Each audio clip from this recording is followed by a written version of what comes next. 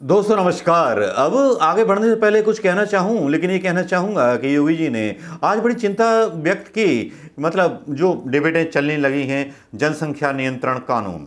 भाई, सेंटर में बीजेपी की सरकार है, स्टेट में बीजेपी की सरकार है, अब ये मुद्दे बना करके छोड़ दिए जाते हैं सिर्फ़ ये दिखाने के लिए, वोट पाने के लिए, कि भैया, मुसलमानों के खिलाफ जंग है वही बच्चे ज़्यादा पैदा करते हैं, और कांग्रेस ने ये नसबंदी कानून मुसलमानों पर लागू नहीं किया था। भाई तो मैं कहता हूँ, अगर आपकी हिम्मत है तो आप लागू कर दीजिए, जनसंख्या नियंत्रण कर दीजिए। जिस तरह के मुद्दे योगी जी उठा रहे हैं, जनसंख्या नियंत्रण के लिए, और जिस तरह की बहसें चलाई जा रही हैं, वो बड़ी बेमानी सी, अदनी सी, बेकार सी लगती हैं। भाई, सिविल कोर्ट मतलब एक इनका कानून था कि सारे अधिकारों को समान, सारे नागरिकों को समान अधिकार होना चाहिए। लेकिन वो तो लेके नहीं आए। लेकिन बस मुद्दा आ जाता है डिबेट्स में। चित्रा त्रिपाठी आज तक पर फर फड़ाने लगती हैं अपनी डिबेट्स के ज़रिए, क्या देश में बढ़ती आबादी पर ब्रेक लगाना ज़रूरी है? और पूछने लगती हैं अनुराग भदौरिया से कि भैया आप बताइए आपकी क्या राय आप समर्थन करेंगे? अरे भैया, पूरे बहुमत में योगी सरकार उत्तर प्रदेश के अंदर। पूरे बहुमत में सरकार केंद्र के अंदर। भाई, मोदी जी लागू कर दें कानून, उनके अंदर हिम्मत है। कांग्रेस नसबंदी लेकर के आई थी तो मोदी लेके आए कानून, हम भी समर्थन करते हैं। मैं तो पहला आदमी हूँ जो समर्थन करता हूँ, योगी जी के अंदर हिम्मत है। लेकिन शर्त यह है कि अरब कंट्रीज़ से फिर माफ़ी ना मांगे।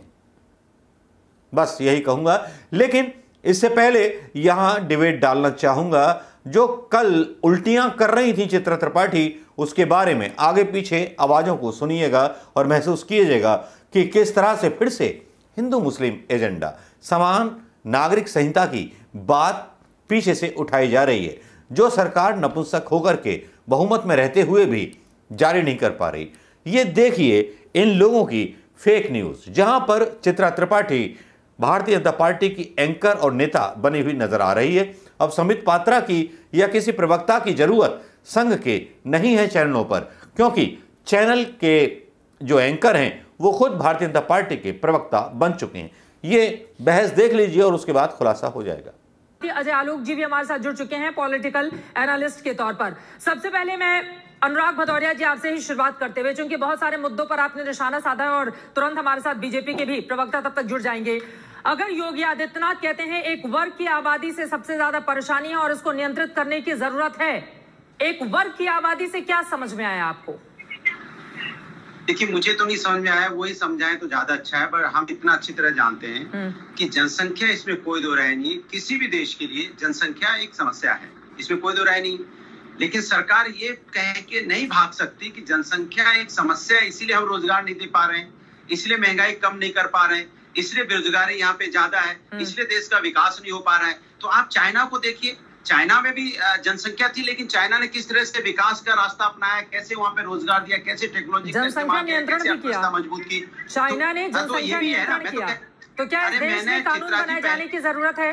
अनुराग भदौरिया आप कह रहे हैं कि चीन की तरह भारत में भी मौजूदा परिस्थितियों को देखते हुए जनसंख्या नियंत्रण कानून की ज़रूरत है। तो लीजिए चित्रा जी मुझे तीस सेकेंड तो बोलने देते तो आपको भी जवाब मिल जाता। है दिक्कत है कि आप परेशान हो जाते हो कि कहीं बीजेपी के पॉइंट तो नहीं बन गए। मैं तो राष्ट्र की बात कर रहा हूँ मैं किसी पार्टी की बात नहीं कर रहा हूँ। जब मैं राष्ट्र की बात करता हूँ तो हिंदुस्तान की बात करता हूँ कि हिंदुस्तान के अंदर में जनसंख्या एक समस्या है और इसका समाधान करने की ज़िम्मेदारी हम सबकी है सरकार की भी है। लेकिन सरकार ये कह के नहीं बच सकती ना कि जनसंख्या एक समस्या है उसके समाधान पे ना आके बस उसका एक इश्यू बनाने उसका एजेंडा बना दे।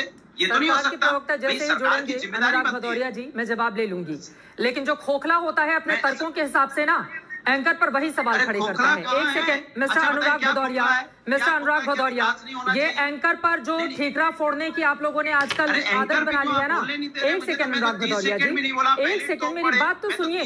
क्रॉस क्वेश्चन मुझे लगा कि आप अच्छी बातें कर रहे हैं। आप कह रहे हैं कि चीन जैसा कानून बनाइए। मैंने तो ये सोचा लेकिन आपने एक जगह भी हिमायत नहीं की। ठीक है लेकिन मैं फिर आपसे बोलती हूँ जो अपने तर्कों के ज़रिए खोखला होता है एंकर पर आरोप वही मरता है ठीक है आप अगर व्यक्तिगत टिप्पणी करेंगे अनुराग भदौरिया जी। मैं यहाँ पर चित्रा त्रिपाठी पर एंकरिंग करने के लिए नहीं बैठी हुई हूँ। जनसंख्या नियंत्रण कानून पर बैठी हुई हूँ।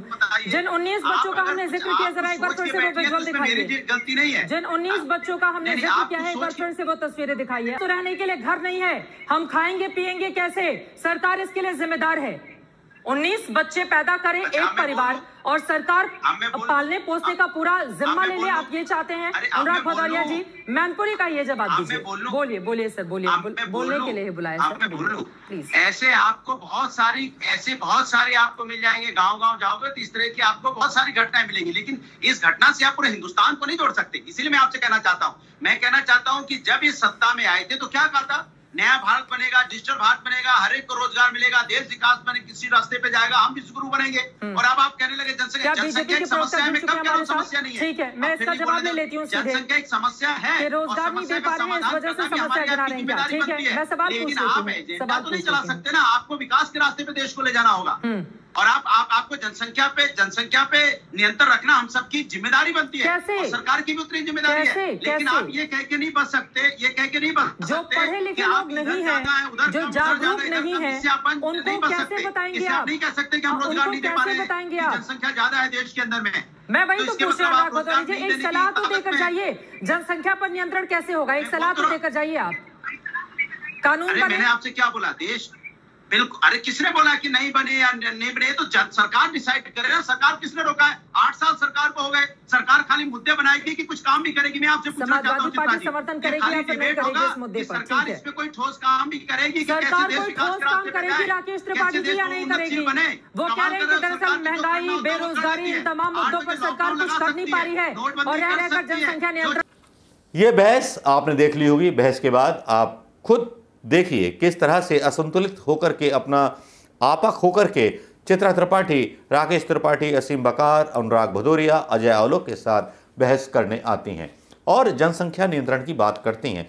ये तो मुद्दे बहस के टीवी पर आने भी नहीं चाहिए, बल्कि खबर ये आनी चाहिए कि मोदी सरकार और योगी सरकार ने ये फैसला ले लिया है कि हम ये फैसला समान नागरिक संहिता लागू कर देना चाहते हैं और सब बच्चों को जो है मतलब सब पेरेंट्स को बोलेंगे कि बच्चे कम से कम एक या दो करें और सारे लोगों पर यह लागू होगा, हिंदू पर भी होगा, मुसलमान पर भी होगा, सिख पर भी होगा, ईसाई पर भी होगा। ये लागू कर दें। क्योंकि लागू कर देंगे तो ये बहुत अच्छा होगा, चीज़ें भी साफ़ हो जाएँगी और देश के लिए ना तो कोई मुसलमान इस चीज़ से इनकार करेगा, ना हिंदू करेगा, ना सिख करेगा, ना ईसाई करेगा। भाई, इस तरह के मुद्दे ये लेकर के आते क्यों हैं? केवल इसलिए, एक पॉइंट ऑफ़ व्यू अपने भक्तों को दिखाने के लिए कि योगी सरकार इतनी सख्त है। मतलब कोई भी बिल लेके आने से पहले चर्चाएँ चलनी ज़रूरी हैं, आग लगाना देश में ज़रूरी है। अरे, आपकी हिम्मत तो ले आओ ना। डिबेट केवल इसलिए कराई जाती है कि आपका जो है ध्रुवीकरण हो सके। आप बोल सको हिंदुओं को, अब मुसलमानों के खिलाफ हम ऐसा बिल ला रहे हैं। आठ साल में तुम लेके नहीं आ पाए। मोदी मोदी सरकार रिपीट हुई, योगी सरकार रिपीट हुई, वहाँ नहीं आ पाए। वहाँ चित्रा त्रिपाठी समाजवादी पार्टी का डंका, एक बाप के उन्नीस बच्चे, बस इसी बहस में पड़ी हुई है। कभी चित्रा त्रिपाठी ने अग्निवीरों के बारे में, बेरोजगारों के बारे में बात की? ना। अब तो सुधीर तिहाड़ी भी इनके साथ मिल जाएगा। देखिएगा, आज तक सबसे बड़ा जहरीला चैनल बन जाएगा। नमस्कार, जय हिंद दोस्तों।